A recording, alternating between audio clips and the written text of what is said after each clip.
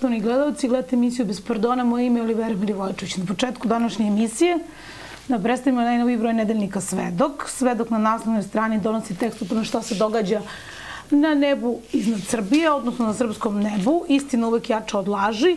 Drugi zanimljiv tekst je priča iz Crne Gore. Sledbenici Ilije Garašanja dobili zadatak da Crnu Goru pokore duhovno. Mitropolitan Filohij i Milo Đukanović više ne biraju reči, a između ostalog tu je i odgovor ministra Stefanovića koliko je u Srbiju ušlo migranata u proteklih sedam godina. Ako vam je do istine, čitajte Svedok. A moj današnji gost je čovek koji je osnovao prvu nacionalnu stranku u Srbiji još davnih 1987. godine. Bavio se politikom, povukao iz politike, vratio se 2004. u politiku, a onda je ponovo nestao. I evo ga danas sa nama. Moj gost je gospodin Mirko Jović, osnivač na, Srpskog, na, Srpske narodne obnove u kojoj je bio sa sadašnjim liderom SPO Vukom Draškovićem i uh, Vojislavom Šešem. Dobar dan, gospodine Joviću, i dobrodošli u emisiju Bez pardona. Dobar dan, hvala na pozivu. Pa evo, vi ste jedan od prvih osnivača, odnosno osnivač srpske, prve srpske opozicijone stranke i nacionalne stranke. Ajde da počnemo od, od istorije. Bitnije je to drugo, da kažem. Ovaj, mi smo u stvari uh, posle dugog niza godina, više decenija, osnovali jedan nacionalni pokret. U stvari, to nije bila stranka. Ona je, pokret je bio registrovan po zakonu o političkim partijama, odnosno strankama, ali u suštini nikad nije bio klasična politička partija ili stranka. I ja, da kažem, ovaj, nikada nisam imao ambiciju da se bavim takozvanim strančarenjem niti da po svaku cenu ovaj, dobijem, da kažem, svoje neko profesionalno mesto u, preko stranaka u nekim državnim institucijama. Moja ideja bila od početka da probamo da podstaknemo javnost, da podstaknemo srpski narod pre svega, da začeprka malo po svojoj istoriji, da se vrati svojoj suštini, da se vrati svom narodnom, građanskom i državnom identitetu. Ali zanimljivo je da Srpska narodna obnova, ja nešto kad sam tražila spremajući za misli zapravo nastali pre Socijačke partije Srbije.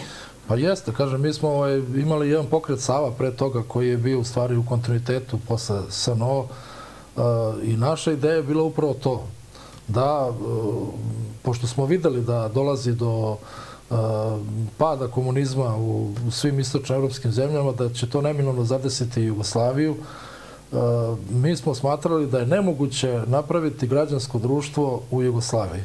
Da je nemoguće napraviti građansko društvo uopšte u bilo kojoj tvorevini koja je na silu napravljena. Mi vidimo da danas na silu udružene i okupljene zemlje i stari narodi u Evropi ne mogu da naprave nikakav građanski demokratski poredak u takozvanoj Evropskoj uniji. Zato što je to nasilan, da kažem, posao i sve što se pravi na silu, to ne može biti demokratsko. Demokratsko mora biti po volji naroda i po volji Boga. I mi smo verovali da demokratiju, građansko društvo je moguće obnoviti samo ako obnovimo Srbiju kao našu državu, jer je ona imala te tradicije 150 godina pre, da kažemo, tih 90. godina. Ona jedina imala tradicije, jer je Srbija u stvari e, država koja je stvarno, znači, kod nas je ranije to pisalo, kod naših vladara je to pisalo uvek na početku da su oni da vladaju po milosti Božjoj i po volji narodnoj. I naša država je tako ustanovljena kao stvarno jedna zaštitnica naroda i kao garancija njegovog boljitka, prosperiteta, da kažemo zaštite od svih mogućih ne samo prirodnih nepogoda, nego i neprijatelja. I e, jednostavno, kažem, iluzija je bila. Čak su mnogi akademici, ljudi iz crkve e, se držali e, tih zabluda da je moguće zajedno sa bivšim i tadašnjim presvučenim ustašama, ne ustašama koje su se pojavile 90. godine u Hrvatskoj, da je moguće sa njima zajedno napraviti neko građansko društvo. Da je moguće napraviti civilizovanu državu. Oni oštre noževe obnavljaju ustaške jedinice, obnavljaju ustaške simbole, a naši e, naučnici, intelektualci u Beogradu naivno veruju da sa njima treba praviti građansko društvo. A da Eto, ja sam to probao da prosto skrenem pažnju Srbima da ako već je došlo vreme da se rešimo jednopatijskog sistema, da obnovimo naše građansko društvo, da uvedemo tržišnu privredu i tako dalje, da je to moguće samo u Srbiji, jer je ona imala te tradicije, jer je to naša država, jer ona nije pravljena silom, nego voljom narodnom.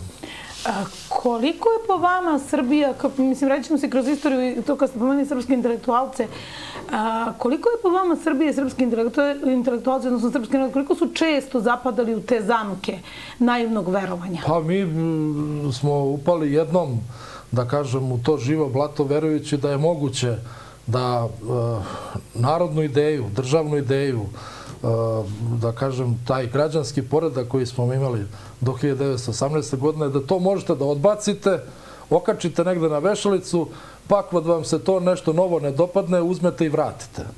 Ali to nije tako. Znači, jedna nacija, jedan narod, jedno živo biće koje mora da se neguje, održava, zaliva.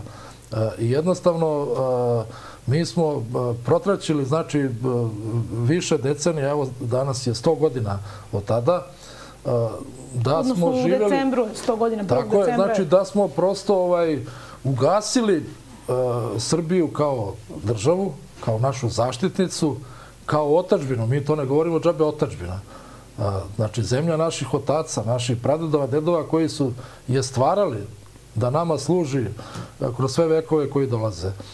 I često smo mi govorili, naročito Srbi koji su živjeli izvan Srbije, oni su za Srbiju govorili majka ne samo otačbina. Ne samo Ili matica, kako se jeste. Matica, majka, majčica, ponekada su govorili. Ne bez veze. I ako se vratimo na te naše dedove i ako to uzmemo kao meru, mi smo posle 1918. kada ostanete bez majke, kada ostanete bez oca otačbine, mi smo u stvari postali jedan siroti narod, sastavljeno od siročića koji bauljaju i lutaju kao što i siročići bauljaju i lutaju kad ostanu bez oca i bez majke. 87. kad ste formirali Srpsku narodnu obnovu, od tad je prošlo 31 godina, je li tako? I jeste imali tu istu ideju da vratite? Apsolutno, to je jedina ideja koja nas je držala. I mi smo imali problem sa... A tu ste imali, vi ste bili mlad predsednik stranke ali, u to doba. Ja sam od svoje 15. godine bio apsolutno opredeljen i, i, i zaljubljan. Prosto sam patio, kao i mnogi moji prijatelji koje sam znao u tom vremenu, što ta sjajna Srbija, ta Srbija naših dedova, čije pobede sada slavimo, je prosto zatrpana. Mi ne slavimo nestala. pobede Srbije u poslednje vreme. Da, oni slave neko primjerje, ali, ali da vam kažem, ovaj, tada još je gore bilo 70. godina prošlog veka, znate, to je bio užas, ovaj, kakve su se laže nametale, neke lažne veličine, ovaj, a prikriveno je to, to sjajno. Po neke fotografije, kad pogledate samo iz tog vremena, negde po kućama, po porodičama, bumima, to se videlo kakav je to narod. Da god pogledate, pogledate sela, seljake, pogledate učiteljice, pogledate uh, ljude koji su bili uh, vaše kolege, novinari, intelektualci tog vremena, oficiri,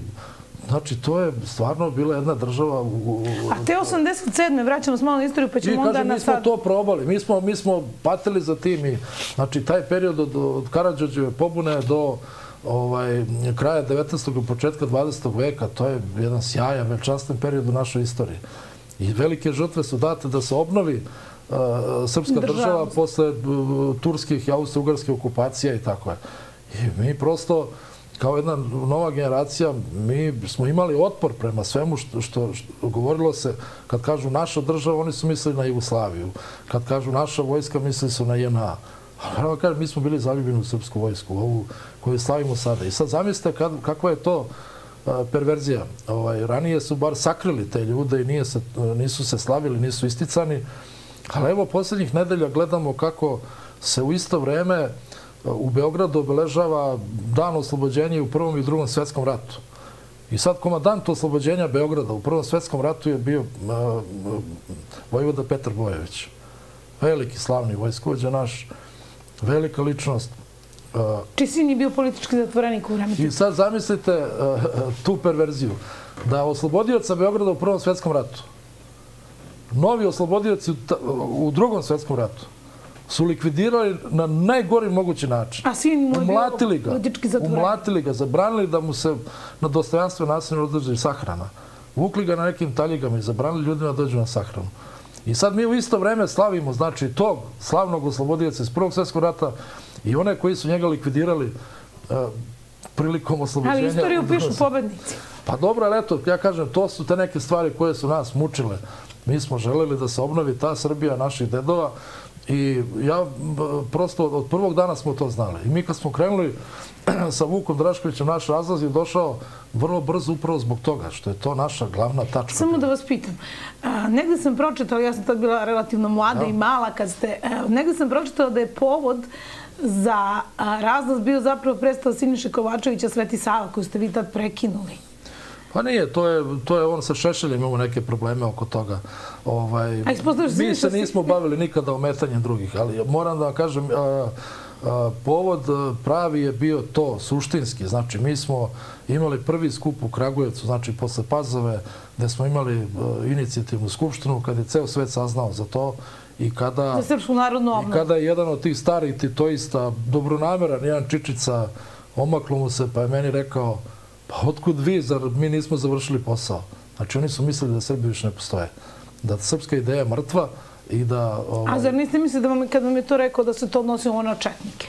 Ne, ne, ne, on je mislio na to. On je jasno, vrlo jasno mislio da je naša ideja bila nedvosmislena. Znači, mi smo rekli, mogu oni to zovu kogod hoće, ali mi smo jasno rekli da je naša ideja obnova može da stane u tu jednu rečenicu. Građanskog, narodnog i državnog identiteta. To je tačka, mislim. U tome ima pravo da učestvuje svako. Bez obzira gde su, gde mu je bila porodica, da li se borila, nije borila, da li su ratnici, nisu, da li su bili na ovoj ili onoj strani u ratovima. To je ideja obnove, kažem, na A zašto onda, šta se onda desilo sa Vukom Draškovićem? Zašto ste... A na prvom velikom skupu u Kragujevcu, polovinom januara, imali smo jedan manji skup pre toga u Čurugu.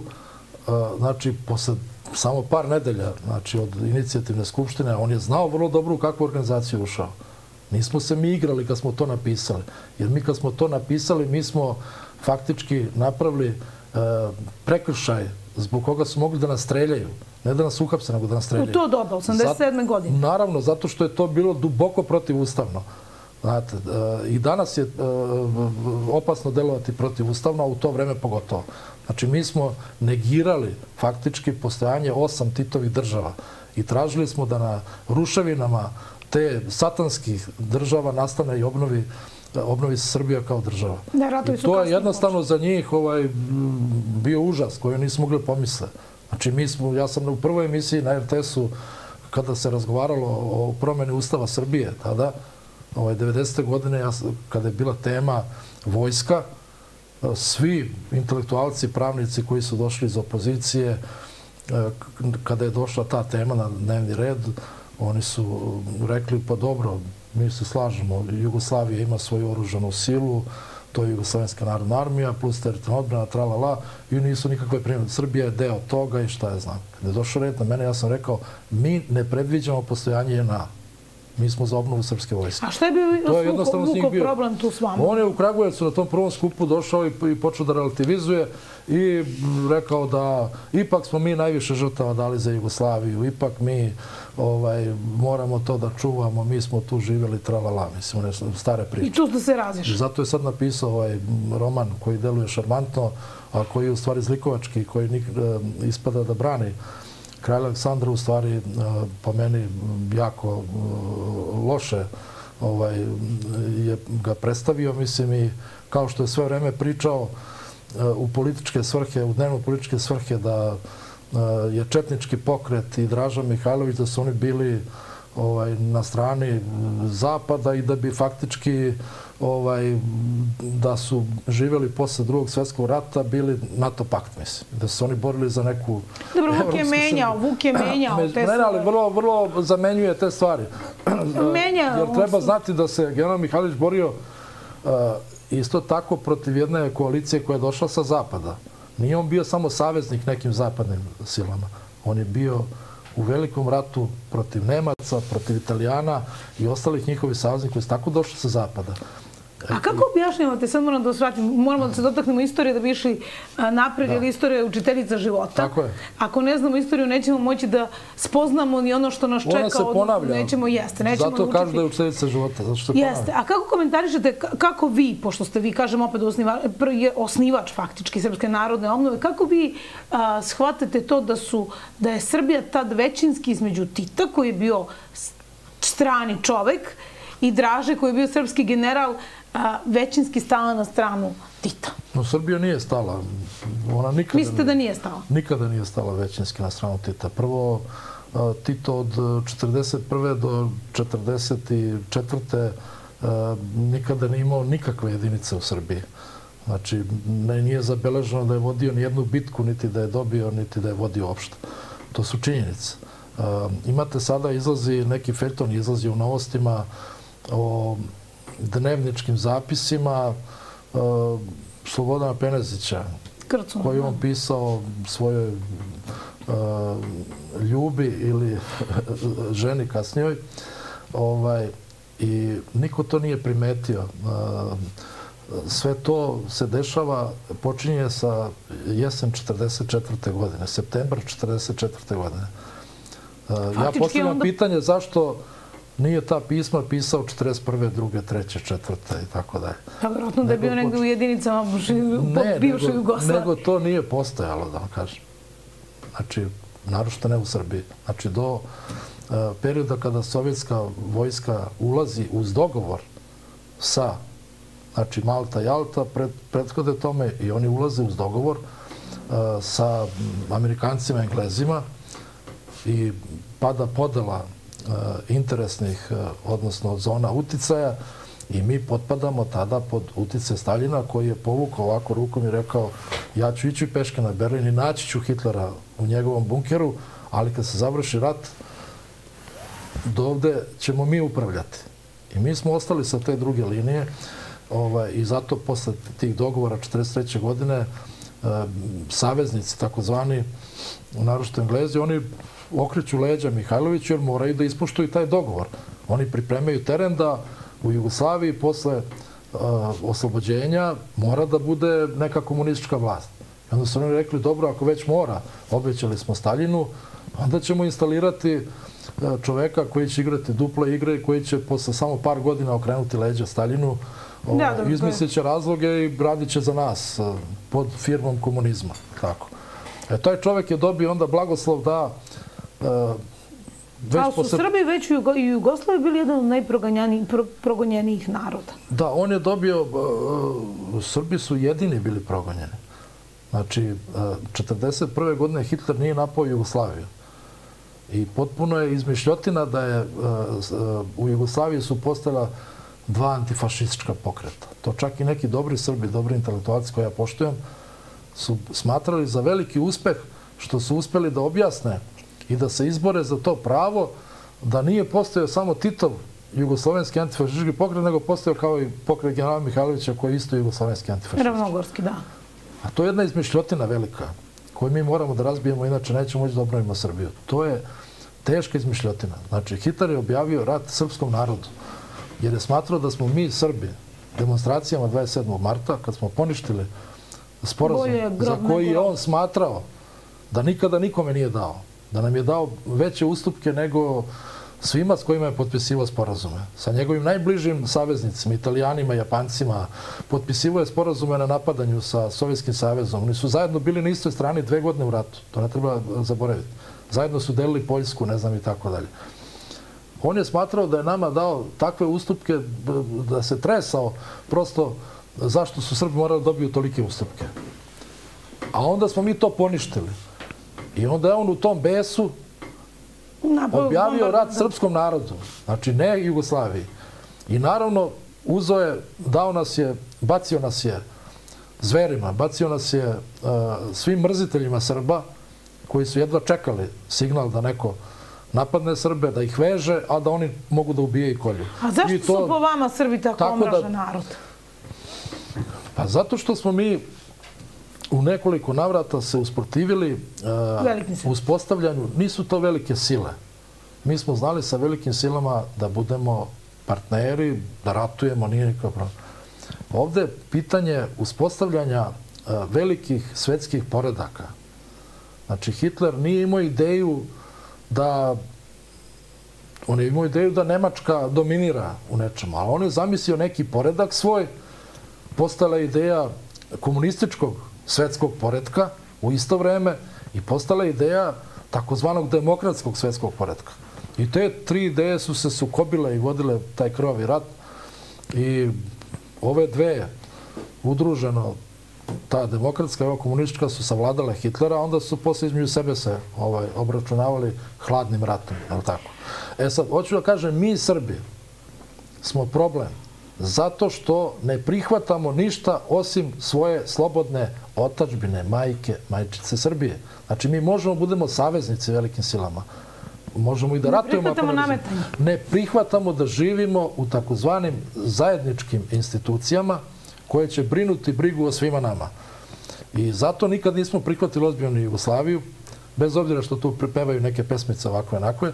Znači, e, mi suštinski želimo da o našoj bezbednosti, o našoj zaštiti, o socijalnim merama, o privrednom modelu, brinu, brine Srbija sa svojim državnim institucijama. A mi možemo, mi treba, mi smo, nikad nismo bili narod koji je bio zatvoren koji je bio protiv saradnje. Naprotiv, mislim, mi nismo, na primjer, napravili, imali smo velike naučnike kroz istoriju i nismo mi izmislili sve na ovom svetu. Ali, recimo, nismo izmislili kameru.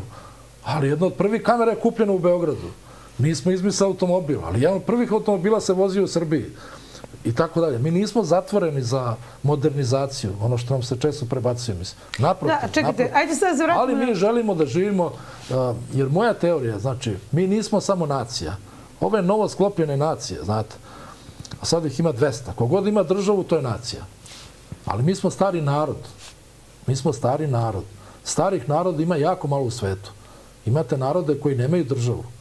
Znači kao Kurdi, ima ih 25 miliona, a nemaju državu. Evo sad imam ponovo neko američko istraživanje na nekom njihovom univerzitetu da su Srbi jedan od najstarijih naroda. Ne, to je nedvosmisleno. Na, na znači, ovaj, narod, na ovim prostorima. Na, oni koji imaju svoj jezik pre svega, koji imaju svoju kulturu, imaju svoje običaje, imaju svoju religiju. Znači, to su, to, to su stari narodi. Jermeni, jevreji, kurdi, srbi, tako dalje, mislim, možemo nabrajamo. Znači, jako je malo bilo naroda pre samo stotina godina. Znači, 1912. godine pa nije bilo ni 30 država u svetu, jer su tada države imali narodi. Znači, mi smo imali u to vreme e, dve države priznate, Srbiju i Crnu Goru jer Crna Gora se izjašnjavala tada kao srpska država. Prema tome, to su činjenice. A sve ovo što je posle nastalo, nastalo je da bi se sproveo neki poredak. I te novo nastale nacije, kao što su Hrvati, kao što su sad Slovenci, kao što su ovi Albanci, Bošnjaci, recimo, Bošnjaci, tako dalje. Govorimo o našem okruženju, a takvi su isti tamo, Litvanci neki, šta znamo. Znači, oni bez problema prihvataju uh, bilo kakav poredak koji će se uspostaviti. I mnogo lakše, da. Njima to ništa ne znači, jer nemaju uopšte uh, sliku, svest, svest o, o, o potrebi države, koju će oni potpuno kontrolišu, jer je nikad nisu ni imali. Jer sad uvek, da vas uvek su uspevali kao deo neke velike katoličke imperije, kao deo neke islamske ovaj, velike carevine i tako dalje. A sad hoću da sa te malo dalje istorije vratimo da. ovu bližu, pa da onda da. malo pričamo i o sadašnjosti. Jeste. Te 87. Šta je, šta zapravo desilo pa Srpska narodna obnova nije uspjela da sprovede tu ideju? A, a... a desilo se upravo to, znači ona je... Oživljavanje Ona je na jedan podmukao način ovaj, prosto skoro likvidirana, marginalizovana, davljena, pa od onih ljudi koji su voleli da žive od tih e, jugoslovenskih institucija, zabluda i svega pljačke, jer prosto ovaj, oni su se ježili na to. Ja vam kažem, jedan od njihovih malih, sitnih ljudi je rekao, pa zar mi nismo završili posao? Znači, oni su mislili da treba uh, srpski narod prosto da ili ono kao što su i Ustaše rekli, jedna trećina ode u emigraciju, oni su to uspeli. Ali Šešelj je nastavio da, mislim, uslovno rečeno, Šešelj je nastavio da zastupa tu tvrdu ne, nacionalnu ne, politiku. Ne, to je, on je, on je jednostavno samo bio pomoćnik ovaj, tih raznih zaostalih jugoslovenskih, za koje ja kažem, postojale su do ovaj, 45. godine, postojale su Pavelićeve Ustaše. A posle 45. godine, sve do 90. postale su Titove Ustaše, koje su vladale i Srbijom. I mnogi od njih su zaostali i ovde. Ovaj, njihovi najkrupniji državni činovnici iz NDH su prešli u Beograd. E, futbaleri koji su igrali za NDH reprezentaciju, e, avijatičari koji su bili, šef NDH avijacije prešao ovde u Beograd. I tako A čekajte, gde Šešelj u svemu tome? Kako? A on je jedna budala, to moram da kažem. Mislim, vi ga jedna, znate, blisko jedna, ste sarađivali. On, je, o, o, on e, se nalazi, vrlo često ljudi kažu među genijalnog i, i, i potpuno sublesastog. Mislim, on, on prosto Pa evo vidimo šta sad radi na političkoj sceni i šta je radio 90. godina. Znači, A kako ste se s njim razišli? Evo rekli ste za Vuka. Šta ne, se s njim je, Mi čak nikad nismo bili u istoj organizaciji. -hmm. To je pomešano zato što kad smo se mi sa Vukom razišli vrlo brzo, on i Vuk Drašković su napravili organizaciju, ne slučajno, pod skoro istim imenom. Izašli, Vuk izašao iz Srpske narodne obnove, Šešelj imao neki slobodarski pokret i oni su napravili zajedno Srpski pokret obnove. Da, srpski. I ta pometnja, je trajala dugo, dugo posle toga i a, prosto stekao se utisak da smo mi svi bili zajedno, ali nismo. Znači, Vuk, da, je, bio, je Vuk je bio sa nama dva meseca, sa Šešeljem četiri i ispalo je kao da, da je to sve bilo I na kraju toga ništa nije bilo. Je li to Jest, ono, ne daj Bože, da, kažem, da se ovaj, slože? Pa ne, ne, ne. To nije bilo to pitanje zato što mi jesmo ušli srpski u tu priču sa srpskom idejom, a Oni su ušli kao paraziti i politikanti koji... A vi ste bili predsednik koji su gledali tog pokreta. Jesam, da, da. Iako ste bili vrlo mladi u to doba. Pa jesam, imao sam e, manje od 30 godina, ali sam e, već imao troje dece, imao sam porodicu, imao sam svoje poslove i tako dalje. Znači nisam bio neko ko je bio beba u tim godinama, nego sam... E, da, dobro, Srpska narodna obnova je marginalizovana, kako ste rekli davljena, rasturana, da kažem, ovaj, prikazivana lažno. Pokušavali su nas prikažu kao ekstremiste. I neki čak i od Srba, nacionalni su poverili da smo ekstremisti. Tako da i neki ljudi, recimo intelektualci tog vremena su malo zazirali od nas, a posle 30 godina su oni došli na to, o čemu smo mi pričali iako su tada imali više godina od nas. Koji to intelektualci? Po mnogi, evo sad gledam ove koji su tada blebetali neke priče o zajedničkoj državi sa Hrvatima, o demokratiji sa Hrvatima, osnivali odbore po Hrvatskoj. Pa evo uzmemo Kostu Čovoškog i razne drugo društvo, koje je mhm. bilo tada u demokratskoj stranci, koji su ovaj, Sada, stranka je mlađa od vas. Koji je sada, ovaj, mislim, ono, kao na tim, to što on sada priča, ja sam pričao pre 35 godina, mislim. I kad sam ja to pričao, to je izgledalo ekstremno, a on je danas ovaj, srpski akademik, mislim. I dobro, i vi ste se na neko vreme... Mnogi akademici, moram da kažem, jedan od redkih tih starih akademika, Radovan Samarić, na primjer, on je to prepoznao. On je shvatio tačno šta mi hoćemo i kako je. Bio temeljan Srbin, ozbiljan Srbin. Nije bio čovjek koji je posmatrao to kao neku navijačku političku utakmicu. Dobro, i od 87. odnosno kasnije posle 90-ih, vi ste se nešto povukli iz politike, niste se nešto pretjerano eksponirali Pa, znate, neki pokreti, oni imaju ideju da postave tako neki važan cilj i onda ili se raspadnu na više uh, nekih ili, ili, ili nestanu. Uh, nama je ključna stvar bila to što je počeo rat 91. a kasnije druge u Bosni. I mi koji smo imali takav cilj, kakav jesmo imali glavni, mi nismo mogli da ostanemo po strane. A mi smo svu svoju energiju, sva materijalna sredstva koje smo imali, uložili da pomognemo srpskom narodu da se iščupa od te neoustaške države koja Vi ste čak i učestvovali u... Pa mi smo imali, da kažem, na svaki način učešće u tom ratu. Mi to ne bežimo od toga. Znači, pomogli smo kako god smo mogli. Ne kažemo da smo igrali ključnu ulogu, ali smo pomogli na svaki način slanjem pomoći, pa prihvatanjem e, izbrle nejači. Znači, radili smo ono što je Srpska narodna odbrana, po kojoj smo mi dali ime, ovaj, radila 1908. pripremajući Balkanske ratove. Znači, ona je osnovana čim je proglašena Bosna i Hercegovina aneksija. Ona je osnovana tu u Beogradu, ispred pozorišta.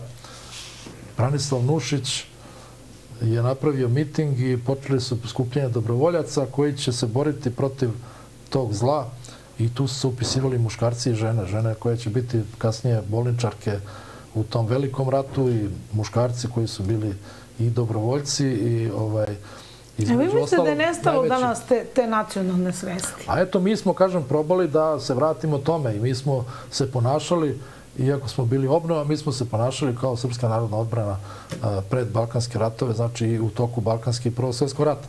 Mi nismo mogli tada, iako su to bila godine kada su stranke tek nastale, izlazile prvi put na izbore, da se tu nešto ovaj, konforno bavimo partijskom politikom, a da tamo nestaju čitavi gradovi, da naš narod ovaj... Eto, recimo, mlađe generacije ne znaju da ste vi začetnik zapravo i osnivač prve nacionalne stranke u Srbiji. A dobro, to znači je... mi to nismo radili radi te propagande, radi izbora. I jednostavno nismo se puno ni hvalili sa tim.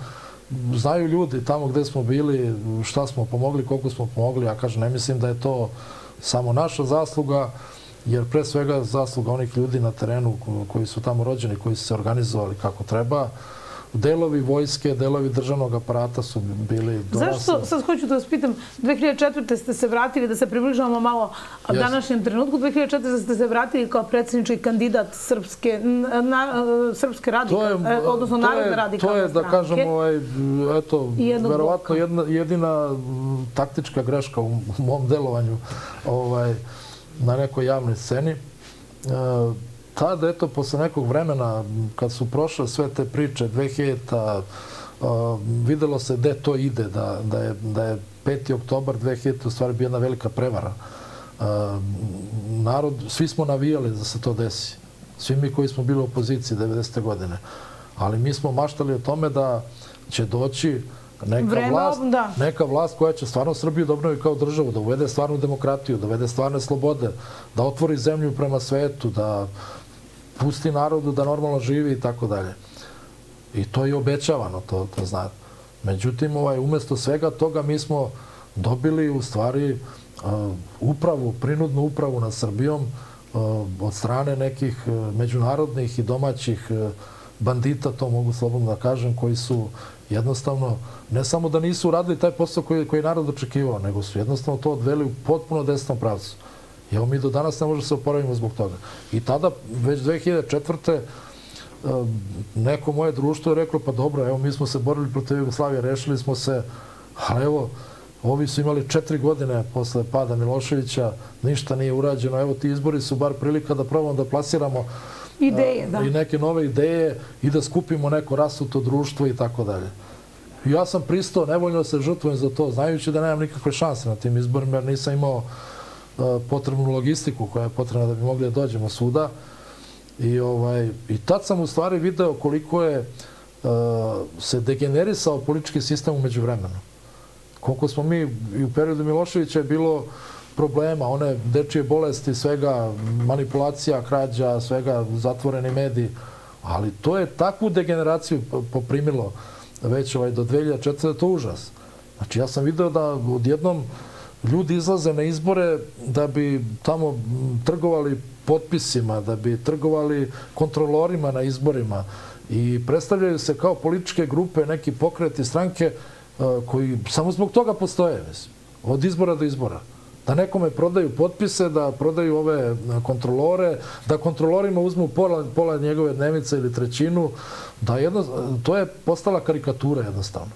Jedna teška karikatura i jedina I dobra, jedina dobra strana, jedina dobra strana tog učešća je to što sam mogu da vidim Te neke u što se to pretvorilo. I tada je Dinkić koji je da kažem ovaj vrlo sposoban, ali nažalost ovaj đavo, što kaže, ali nije naš đavo, da je bar naš đavo, pa da kažemo u redu je, on je ovaj, usvojio taj zakon kojim je legalizovao korupciju opozicije. Jer u vreme 90-ih, u Miloševića vreme se pričalo o tome da Milošević, odnosno njegov neki aparat, tajno potkupljuje, ne znam, opoziciju, pa su posle obeladanilo to za Šešelja, za ove one. Ali to su samo bile spekulacije neke. I tu se nešto muljalo iza leđa, ispod žita, ispod stola. Ali ovo je uveo zakon posle o finansiranju političkih partija, o finansiranju izbora, kojim je u stvari legalizovao tu korupciju, ozakonio. I da političke partije posle toga krenu sa matematikom, e, dobro, u predizbornoj kampanji zarađujemo to, u toku izbora ovo, ako prođemo u parlament... I pretvore se... Ako da. pređemo u parlamentu, zamislite jedna partija koja uđe u parlament, ima jednog poslanika, ona ima 10.000 evra mesečno. A ako ima 15 ili ne znam, ima 60, 70 hiljada. Tako su radikali, kao najbrojnija stranka tih 2000 godina. Imali su 80 i nešto, sećate se poslanika. Da, oni su bili... U tem, tom periodu oni su primali 120.000 evra mesečno. Zvanično iz budžeta. I ovamo su pričali, e, bacali vatru na taj DOS, na Dinkića, ovo ono, ali svaki mesec lepo odu na kasu i poljube ga u ruku i dobiju 120.000 evra mesečno. Znači oni za četiri godine legalno prime 5 miliona skoro. 5 miliona, da, pazite, to je 50 meseci puta 100, 5 miliona evra. Lepo uzmu samo od toga. I naravno da će one, zato smo imali onako stanje da kao postoji neka velika opozicija, sve se talasa, drma, kao jurišaju nešto, ali ovi rade svoj posao na miru. Znači, namirili su ih lepo sa tim. I ja kažem, ono što je dobro što od tog učeše 2004. to je to što sam video iznutra... A dobro, šta ste radili onda umeđu vremenu? Povukli ste se ponovo iz politike? Pa nisam, ja pravo da kažem, nisam učestvovao na izborima ali sam uvek, što se tiče ovih osnovnih ciljeva... Ali ste politički aktivni. Što se tiče osnovnih ciljeva, znači i, i, i o, onih tačaka u kojih smo se skupili, kad smo pravili SNO, ja nikada ne mirujem, znači... I, I niste odustali nikada? Ne, ne, nikada, znači... A dobro, šta da radite? Mi smo to napisali neodustani ciljevi, od toga nema odustajanja. Znači, samo ta borba nije toliko pod svetlima i jednostavno nismo bili na izborima, nismo u parlamentu, ali, ali za nametanje... Hoću da vas pitam, a šta radite sada? Jeste sad politički aktivni, hoćete da se aktivirate?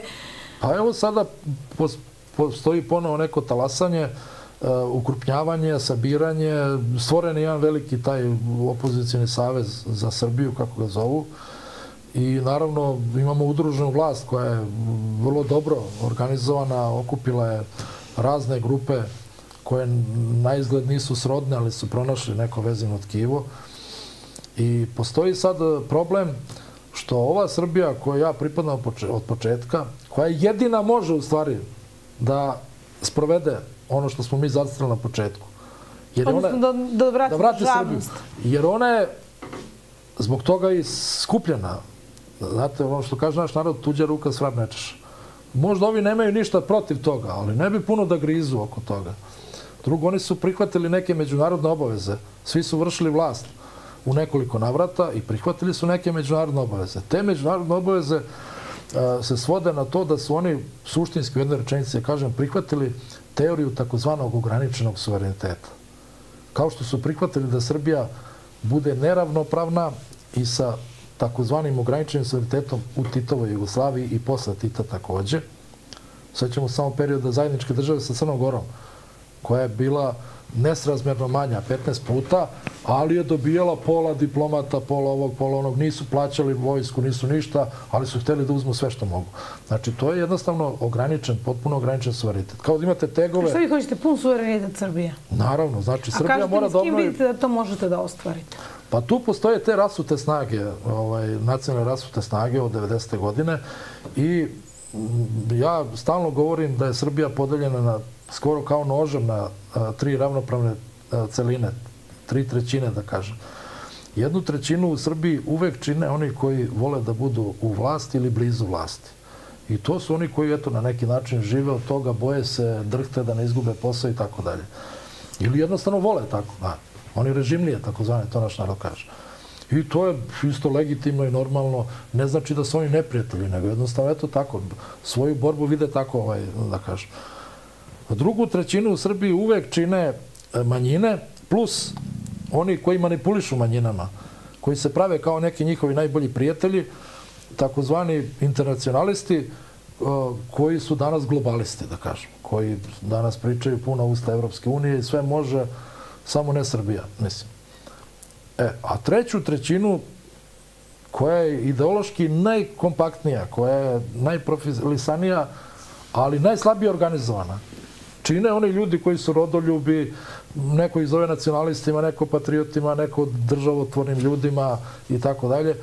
Ali to je taj narod koji želi stvarno da bude svoj na svome i da ima svoju državu. A koga da vi od aktualnih političara e. prepoznajete? I tu je, da kažem, tu ima puno tih rasutih snaga i sad kad pogledamo političku scenu, pre svega je bitna ona scena u parlamentu, faktički, osim uh, Nove Srbije, tu ne postoji niko na tom delu.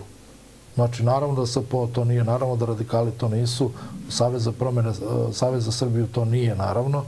Znači, ne govorim sad o ovima van parlamenta, ali u parlamentu, od onih strana koje su u parlamentu, to je ostala Nova Srbija, koja je nastala u stvari uh, na istom tom talasu koji smo mi zakuvali, da kažem, da, zato krajem, 80, krajem 80 i početkom 90-ih.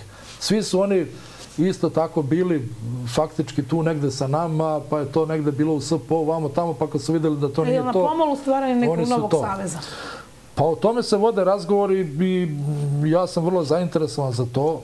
Juče Nova Srbija izdala saopštenje. Jeste. Mi smo, mi da... smo ovaj, prihvatili da budemo u tom inicijativnom odboru da pomognemo to zato što prosto mi jedino za to i živimo, da, da se stvori neka snaga koja će moći da se bori za taj cilj.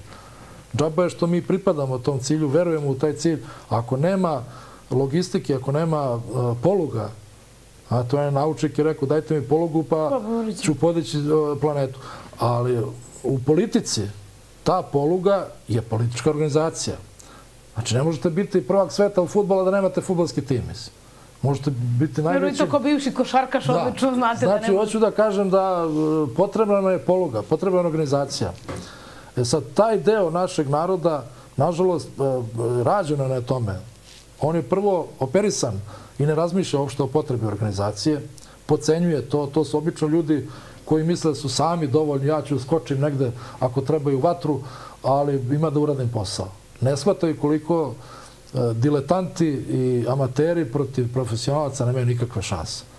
E, I, tako da, prva, e, prvi razlog zašto ne postoji na toj strane, da kažem, organizacije je to. Uverenje da nije ni potrebno. S druge strane, ovaj, imamo situaciju da je rađeno na tome.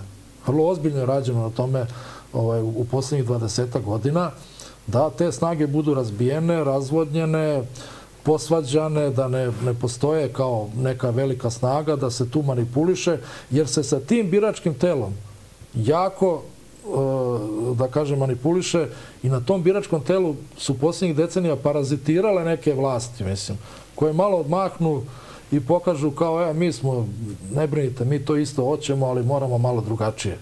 A to ne njihove priče. Zna Sloba šta radi, sad zna Vučić šta radi i tako dalje.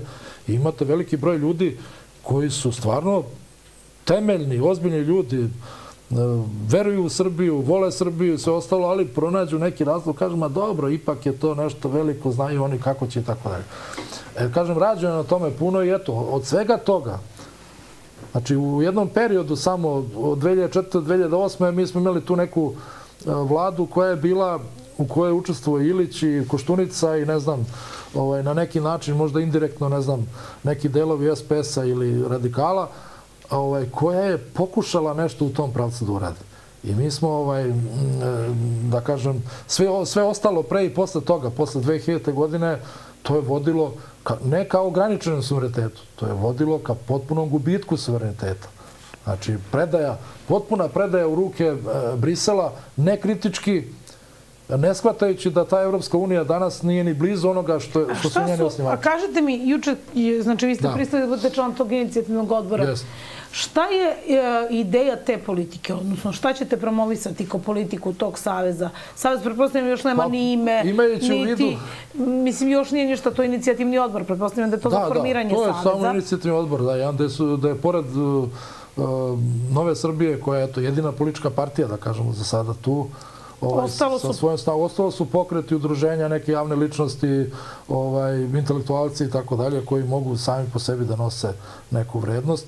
Znači da se stvori jedna jača snaga, jača snaga od uh, Nove Srbije koja ima parlamentarni status, ali to nije dovoljno, očigledno. Znači mora se stvori jedna jača snaga. Oni su pokazali ovaj, jedan pragmatizam dobar, da uh, svoj servis i svoju snagu koju imaju trenutno kao politička partija, stave da to bude osnova, stožer, da kažem, da može, da, jer ove druge nacionalne grupe su sada u takvom stanju da nisu preskočile ni onu prvu stepenicu. Oni razmišljaju o vrhu, a nisu ni prvu stepenicu preskočili. Ne mogu, dave se tu negde u plićaku, u plitkim vodama, u blatu nekom, razvlače se i tako dalje. A sad da bi se išlo dalje, mora postoji ta poluga. E, I ono što je dobro, oni su pragmatični, procenili su da ni oni sami nisu takvi dovoljni za to da budu ta poluga i ponudili su jedno fair udruživanje. Ovaj, nemamo tu neki veliki uslov oko toga. Ja jedino što očekujem to je da to bude urađeno ozbiljno, temeljno. Da kažem, mi, nismo, mi se ne osnivamo uh, protiv nekoga. A sad čekajte, to je sad, to, to zvuči da zapravo Srbija dobija neku vrstu desnice. Pa to je... Taj savez. Po da tome što ste mi rekli, ko... Tu će biti i ljudi koji su čak obeleženi, da kažem, možda i kao neki ovaj, levičari, to izraziti levičari.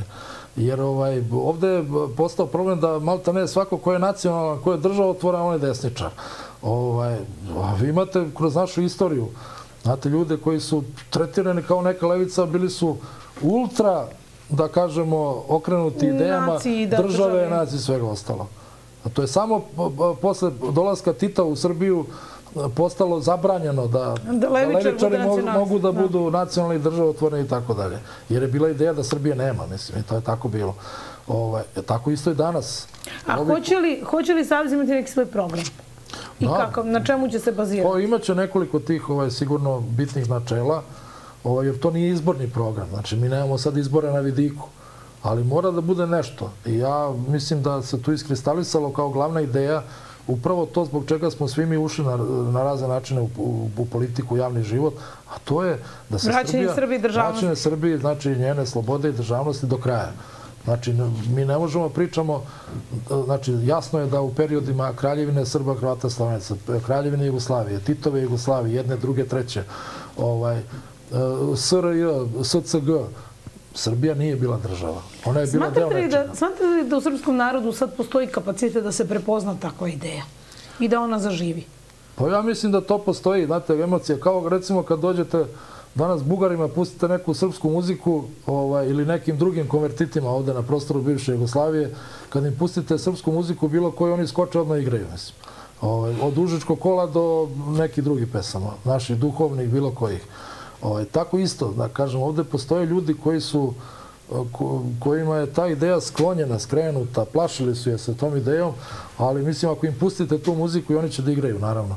Ovaj, samo treba da ih podsjetimo. A recite mi ko su još? E Ko- sad mora, zašto je dobro što krećemo ovako od e, stožera Nove Srbije, od Velje, tu koji ovaj, zato što e, nema obnove Srbije bez e, pokreta iz centralne Srbije. Iz Šumadije, iz zapadne Srbije, e, iz Srema, ako hoćete, ja sam rođen u Sremu, ali sam uvek navijao za, da kažem, za, za, za tu Miloševu i Karadžićevu Srbiju, e, zato što se to pokazalo kroz istoriju. Znači, to je ta matica. To je ta matica. Da, Šumadija je zapravo odigla oba ustanka. Sve, znači, nema tu, tu uopšte to, ovaj, Šumadije prema Tako Drini. i Topola. Prema tome, znači, to ne može, znači, pokazalo se drugo, znači, ne samo zbog Znači, toga. obnova, po vama obnova srpske državnosti mora da krene od Šumadije. Pa ne može da se zamisli bez toga. Ona može da krene, mislim, eto, krenuli smo iz krajine da vodimo rat i sve u redu. Ali, mislim, e, prava, suštinska obnova Srbije, ona može da dođe. Evo, mi danas imamo grb, zastavu i himnu. I zovemo se Srbija. Ali ne znam gde su nam to, granice. ali to nije, ne samo što nemamo granice, nije to Srbija naših dedova. Mi imamo trenutno, znači ona mora do, da vrati taj duh. Znači mora da vrati doktrinu srpske vojske u sadašnju vojsku Srbije. Znači vi imate trenutno u celoj vojsci Srbije imate jednog, srećom, visokog oficira koji već od vremena Šutanovca, onda god dobije priliku, on kaže srpska vojska. I on je tamo gde se on kreće vratio duh srpske vojske. I to je lepo kad vidite. Znači, A mislite li da u ovim- Tako isto mora se desi sa svim državnim institucijama. Znači, ne možemo mi se stidimo toga. Znači, ja moram da kažem, ovde su razni tuđinci, razne protuve koje su zalutale s raznih strana. Ja čak kažem, zaostali neki neprijateljski vojnici. Ovde imate zaostale nemačke vojnike, zaostale ustaške vojnike, zaostale od ove bugarske fašiste, za ostale naseljene kasnije ovaj, u Titovom vremenu ovde. I oni se stalno trude da mi ne obnovimo taj duh Srbije. Znači, mi smo pokazali u Srbiji vekovima. To još od Miloša Obrenovića koji kad je ovaj, obnovljena Srbija malo više postajala neka autonomija i država, u, u prvom ustavu je pisalo svaki čovek koji kroči na tlo Srbije, makar bio i rob, mora se smatrati slobodnim. Znači, mi smo, što se toga tiče, poznati po tome. Svi vole dođu zašto smo gostoprimljivi sve u redu. Nije nama problem da ovde žive ljudi koji nisu Srbi. Da žive druge religije, druge nacije i tako dalje. Ali mi ne smemo da dozvolimo da ti ljudi nas nateraju da se mi odreknemo našeg života, našeg načina života. Jer ja kažem, mi nismo samo nacija, mi smo stari narod i ja čak idem do toga. Onaj narod koji ima svoj način života, on ima neku vrstu svoje civilizacije. Mi Srbimo, ako neko ima ideju da od Srbije pravi multi ovo, multi ono, moram da kažem da je on neprijatelj Srbije. Zato što... Uh, A imate li utisak da su danas... Znači, možeš da budeš ovde u Srbiji katolik, možeš da budeš musliman, možeš da budeš afganistanac, ali nemoj ti padne na pamet da od nas pokušaš da praviš, da se mi odreknemo i da pravimo nešto zajedničko. Multi ovo, multi ono. Srbija nije to. Srbija je stara država, stari narod. Znači, mi ovde želimo da živimo mirno na svoj način, ne ugrožavamo nikoga oko nas, ali nemoj ti nas da ovde asimiluješ i proteruješ zato što živimo na svoj način. Ali Prema neredko ćete, izvinite... Imate ne... često problem, znači, sa ovim muslimanima doli ovo. Ko je branio njima da čak imaju nešto što nemaju nigde u Evropi, da imaju džamije sa onim minaretom? U Americi ne mogu da prave te minare, ne može pravi, nek napravi izraz. Ali u Srbiji ćete često u poslednje vreme čuti od naroda, kad prođete kroz narod, mi smo u svojoj zemlji građani drugog reda. Pa to je zbog toga. To je zbog toga. Zato što narod to osjeća. Srbija se stalno nabacuje kao mamac. Ja, pokvarene priče o tome, čuli ste to. Mi, Srbija je tranzitna zemlja. Kakva tranzitna zemlja? Čega tranzitna zemlja? Pa Srbija je lider na Balkanu. Mame nas ponovo na tu priču. Pa mi ćemo da rešimo problem, sve probleme na Balkanu. Pa nećemo, mi hoćemo da se bavimo svojim problemima. Pustite nas čoveče više pre. Pa dosta nam je toga da mi uh, učimo Slovence da imaju školu. Dosta nam je toga da uh, Hrvate učimo da ne budu ustaše. Dosta nam je toga, mislim, da uh, ovde u Beogradu, mislim, da dovodimo koljače i da budu direktori firmi. Ne želimo to. Mi želimo mirno da živimo ovde u svojoj državi. I svako ko pokuša to da nas preče, on je neprijatelj. Svejedno odakle došao, mislim. To je prosto. Ali vidite da sve može, samo to ne može. Nama se sve nameći i dozvoljava. Sve će nam dati. Evo, Beograd se pravi stihijski, znači se e, preglomazan i ovako u odnosu na ostatak Srbije, ali zbog svoje geografije, zbog dve reke ogromne, zbog svega, zbog svog položaja, e, ti neprijatelji Srbije su zamislili i imamo lokalne budale koje su prihvatile to, da od Beograda možda naprave grad od 10 miliona stanovnika, koji će biti e, glavni grad jugoistočne Evrope. Ali pa vidite, sad u toj da globalizaciji se zapravo i gubi ovaj, gubi. To je to. I srećom, srećom to nije više samo naš problem. 90. godina je to... To je problem čitavog sveta, ne je, samo... A 90. godina je bio samo na... Kao mi jedini ne razumemo. Mi smo jedini rematilački faktor. Ali sad čekajte, Jer su se sve stare evropske nacije i države uh, prevarile i prihvatile one osnivačke akte Evropske unije koji su bili simpatične. Znate, tad je svako imao pravo veta. Ako mu se nešto ne sviđa, on kaže ne i to ne može. Konsenzusom se glasa i tako dalje. Međutim, danas Evropska unija drugačije funkcioniše na silu, preglasavanjem i tako dalje. Niko ne bira. I sad e, mnogi narodi u Evropi, to je sreća, idu putem ili da izađu ili da se to prekomponuje. Pa evo, Britanci su već imali Oni su izašli, naravno. Britanci imamo i ove grupe. Znači, to je sada nije samo naša borba, to je dobro. Stari narodi i stare države u Evropi su počele se bune. Znači, ili, znači mora postoji neka... Pa to je, čini se da to sa Evropskom unijom, sad ću da vas pitam, čini se da to sa Evropskom unijom liči na onu priču sa Jugoslavijom. Znači, da, po, još gore. Kad, još dalje će se kad, kad, u, kad pod jednu kapu stavite različite narode i nacije, onda taj a, nacionali, nacionalistički moment, odnosno nacionalizam, potisnut u jednom trenutku eksplodira. To smo imali u ratovima u bivšoj Jugoslaviji. I tu se da obično dešava da strada samo onaj koji je najbrojniji, najstariji, najozbiljniji narod. Jer pusti sa ovim drugim malim iskompleksiranim. Pa zato su Britanci vjerojatno izašli već. Naravno. Da ne bi došli u situaciju naravno, da zato što oni su ušli u Evropsku uniju kao osnivači i rekli su, dobro, to je zajednica za trgovinu ugljem i čelikom. Pa je onda rečeno, dobro, ajde da malo olabavimo ovaj vizni režim, ovo ono, mada oni to nikad nisu dali. Slobodan protok ljudi, kapitala, znate ono. Ajde, bezolovni benzin da svi vozimo i tako da je. Pa ne, ekologija, šta, sve to simpatično da Ali kad neko hoće da vam uzme pravo, da vi naplaćujete carinu, da vi ne odlučujete ko će vam ući u državu, da nemate pravo da vi svoj vizni režim, kad neko hoće da vam oduzme pitanje bezbednosti, tako što će iznad vaše vojske postaviti neku kao zajedničku upravu u kojoj naravno mi ne odlučujemo ništa. Ovaj, I da vam dovede. A je ideja Saveza da se zapravo bori za, za, za takve stvari, da to sve ne može? Kakav je stav Saveza prema... Mislim, pa mi to se nije iskristalisalo do kraja, ali to provejava. Da mi hoćemo da budemo, to su naši stari govorili, da budemo svoji na svome. Ideja Srbije je ideja slobode u svakom smislu.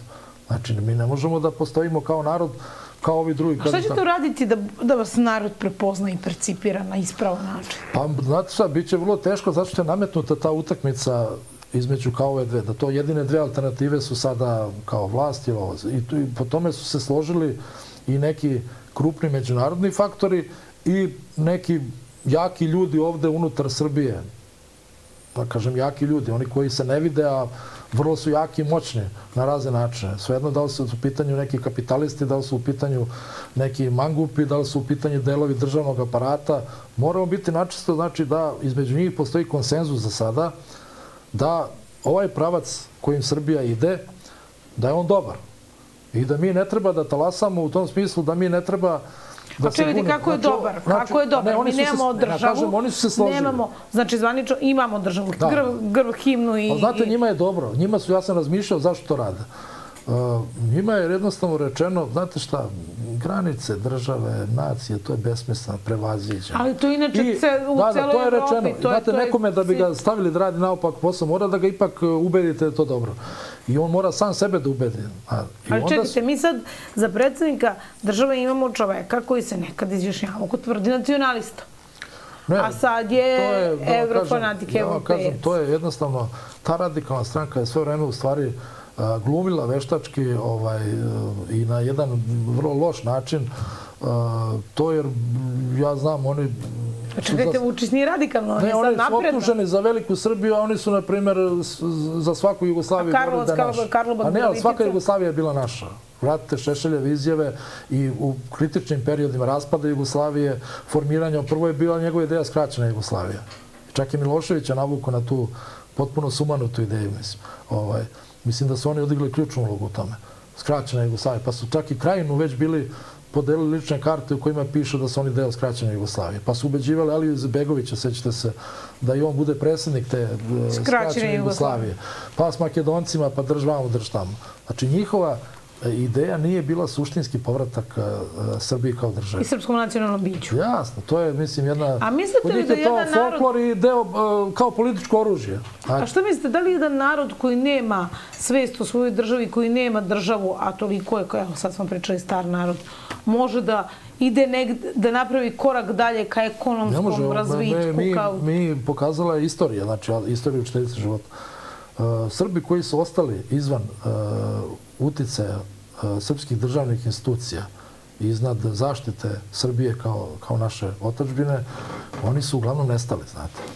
Neki fizički su istrabljeni, a neki ovaj, duhovno prosto su pretopljeni u druge nacije. Mi smo napunili svojom snagom, svojom dobrom genetikom, svojom pameću, napunili smo masu nacija ovde oko nas, novih. Znači sad gledamo kako nastaju uh, od, od, od naših ljudi, od naših porodica, iz iste kuće nastaju neke nove nacije. Eto, u Crnoj Gori sad vidimo to kako se dešava u Bosni i Hercegovini i Makedoniji. Gledali smo to. A pre toga, kroz vekove, znači, Austro-Ugarska je uspela, znači, u Mađarskoj je živjelo 40% Srba, 40% Slovaka i svi, svi Mađari koji su ovaj, primili Uniju, a posle toga postali katolici, svi su postali Mađari, odrekli se iz, svog slovačkog i srpskog porekla. U Hrvatskoj znamo za to. Znači, prosto, mi ako nismo bili zaštićeni svojom državom koja nam je dozvolila da negujemo svoju civilizaciju, da nas niko ne treba da menjamo veru i tako dalje, pa do ovih koji su otišli ovaj, u Ameriku, da li kao politička emigracija ili kao ekonomska emigracija, vidimo da to u drugoj i trećoj generaciji polako nestaje. Znate. Znači, prosto, mi ako ne budemo imali Srbiju, i zato nije bitna veličina države, ja sam navijao, ako se raspadne Jugoslavija, da nama pripadne što više i iz raznih razloga, mislim. Jer nam i pripada to, jer su to neke stare srpske zemlje, jer postoje neka bogatstva tamo, postoje naši grobovi, postoje, postoji milijon razloga zašto je dobro da je ona bila što veća. Ali je suštinski bilo bitno da se obnovi Srbija. Makar i manja, ali da ona postoji kao država. Privodimo, da privodimo kraju već još par pitanja, pa da... Zanima me, da li mislite da ćete u savezu sa Veljom Ilićem i sa tim pokretima, da nismo pomenuli neka imena pokreta, to pretpostavljam da ćete obavesti javnost kad se bude pa formirao da, savez. Da, da, to će biti, još nije ništa ni potpisano, samo je, samo je napravljen inicijativni odbor. Ali kažem, taj prvi korak izgleda dobro. Ja sam se kasnije uključio te pregovore, ti pregovori traju, koliko ja znam, nekoliko meseci, mislim. Ovaj, sad tu postoje i neke stranke koje se kolebaju, postoje i ovaj, neki pokreti koji misle da mogu sami ili nešto tako, pa verovatno će s njima još biti pa, ovaj, pregovora. Uglavnom, očekujemo da 15. ako bude sve u redu, to bude, da kažem, obznanjeno predstavljeno, bar ti početne stvari koje su dogovorene, i da se posle toga... A mislite li da ćete uspeti sada da sprovedete ono što pre 31 godinu niste uspeli sa Srpskom narodnom obnovom? Pa moram da kažem... Jel se stvorila takva ja da klima da kažem, i atmosfera? Moram da kažem ovaj, da što se mene tiče, ja sam u vrlo velikoj formi. A drugo, ovaj, stekao sam ogromno iskustvo, bio sam blizu najkrupnijih događaja u tih 30 godina. Gledao sam izbliza kako varaju i kako likvidiraju politički ljude koji su vodili e, Srpsku krajinu i Republiku Srpsku. E, gledao sam međunarodne mangupe koji su tu dolazili i razne druge stvari. E, u ostalom sad imam 59 godina, mislim, ovaj, tako da hoću da kažem, ovaj, znate, čovjek sve što je stariji, njegove osnovne osobine, sve su izraženije. Znači, ako je bio blesav, on kad postane stariji neće biti pametniji, mudriji, nego će biti još blesaviji. A, ako je bio, da kažem, ono, bez duše, bit će još bezdušniji. Ako je bio a nacionalno, to će biti još gore na kraju. Odvešće ga gde god hoćete, mislim. A ljudi koji, kao ja, mislim, su prosto ovaj, rođeni sa, sa, sa, sa tom porukom, koji poštuju svoje pretke. Jer ja moram da kažem, ovde razni mangupi pričaju, moramo nešto zbog naše dece, pa tako dalje, tako dalje ja imam decu, imam i unuče i tako dalje, ali moram da kažem, osjećam mnogo veću obavezu prema predsima nego prema potomcima. Zato što potomci će imati svoju priliku dalje da se bore i za sebe lično i za, i za svoju naciju i za državu. Imaće svoj život i imaće priliku da se bore. Pa kako će iskoristiti, to je njihov problem. Pomoći ću im sve što mogu. Ali naši preci, slavni preci naši, oni imaju samo nas kao šansu da ne propadne sve ono što su oni radili. Ja zato kažem... Da, ali to što će se... njihove veličine, ovaj, eto, to je zapravo i dug prema deci, drugo, da kažem, eto, prema... zašto je bitno, tu su, gledao sam i kod vas neke emisije, pa su neki tu spekulisali, kalkulisali, ovaj, indirektno prebacujući da li tu treba da bude Velja Ilić Nova Srbija ili ne. To moram da kažem. Ovaj, zato što sam razmišljao o tome vrlo ozbiljno. Znate pa da li se može sa recikliranim političarima, kako oni kažu, pa da li treba neka smena generacija, pa da li da li ovaj, su neki loše iskoristili svoju vlast i brljali nešto u toku vlasti. Ja moram da kažem, vrlo je prosto. Ja sam učio od eh, nekih ozbiljnih starijih ljudi od mene. Jedan od njih je jedini filozof koga sam upoznao u životu. Ne profesor filozofije, nego pravi filozof. I mnoge stvari sam od njega naučio o, razmišljanju. Mada mislim da i sam znam logički da mislim. Moram da kažem, vrlo je stvar prosta. Kad dođe borba za ovo o čemu mi pričamo, za stvarnu slobodu, za stvarnu državu, svako ima pravo da se uključi. Znači, Srbiju, Miloševu i Karadžođevu su obnovili hajduci, trgovci. Znači, zamislite da je neko rekao Karadžođu, jer nemaš pravo pored sebe da imaš Hajduk Veljka. On je bio malo razbojnik, on je tamo pretarivo, imao previše žena, on je ne znam šta sve radio. Oteo, da, dobro, ali Drzak je bio oteo, uh, Vidinskom paši oteo njegovu najlepšu uh, ženu koju je imao, koju je bio zaljubljen ludo. Zamislite tu ludost. Znači, najboljeg uh, Vojvodu sad treba da mere. Znači, kad Srbi dođe ta situacija... Srbi su zapravo potrebni svi znači, oni koji su... za takva vremena, za takva vremena svako ima pravo i obavezu ako je zainteresovan za tu ideju, bez obzira na godine. Tu nema priče o tome mladi su. Naša istorija pokazala, pa nemojte zavodite decu, naša istorija je pokazala da mnogi ljudi u mladim godinama tada, i muškarci i žene, su napravili stravične podvige za Srbiju. Svesno, potpuno. Ne trepnuši. To je već pitanje, to je već Dalje. pitanje nad odnosa. Pa kažu, ovi su matori, oni ne mogu zbog toga. Izvinite, ali mi imamo strašna svedočanstva. Eto, sad će biti film o kralju Petru i tako dalje. Naše Vojvode. Vojvodu Stepu su nosili tamo u nekim nosilima. Kralj Petar išao na nekim kolima drvenim. Ali nije...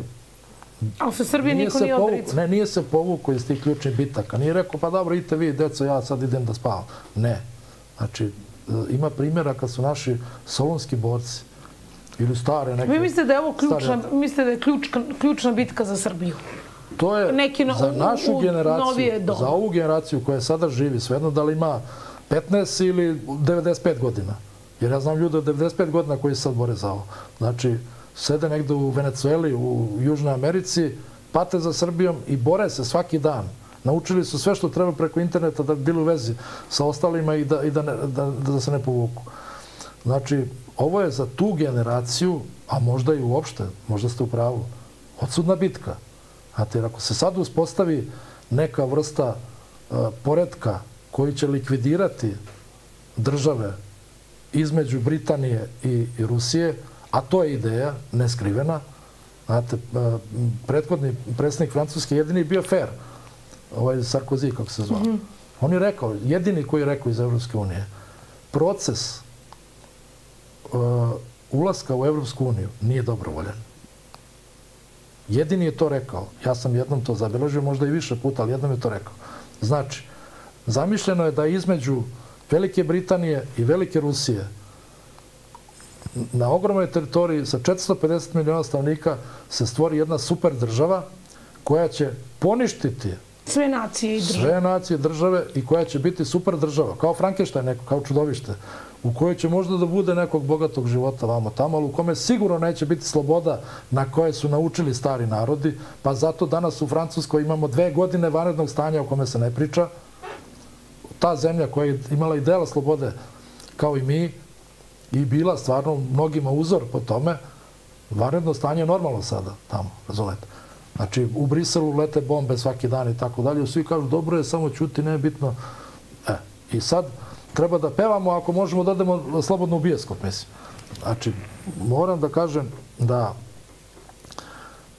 naš narod, to uvek volim da kažem, je u narodnim pesmama rekao, možda neko i nepismen je ispevao, jedna zemlja, a dva gospodara, niti je bilo, niti može biti.